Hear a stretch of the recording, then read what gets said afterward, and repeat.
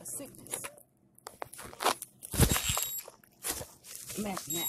But what's your name? I don't know if I spoke to you. Jasmine. If I spoke to you before I come here, Jasmine? No? Because you were so nice to me, you know. Nobody's, nobody take the patience with me, you know. Also, you know where the Hebrews, yeah? The Bible speaks about slavery and all that my name is Shabal Yasharal. That's book of spirit in Hebrew. And I can trace my heritage back to the tribe of Gad, the original natives of, this land. Almost died nine times. Jasmine, I can bear witness that we are Hebrews. And this place is about to be up in smoke. I seen a bomb hit Chicago first through a vision.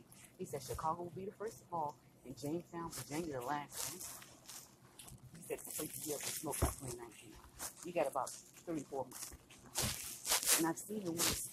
See, I got, you hear the slight stutter? Because I, I got nerve damage to my hand, and a bright light filled the car and slowed the impact down to save my life. That was the eighth time my life saved my life. So look it up on YouTube. Look up Chicago Pharmacy. But this place doesn't have all. How you doing?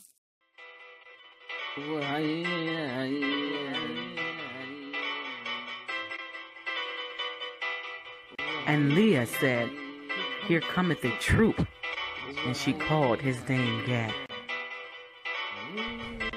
He shall overcome at the last.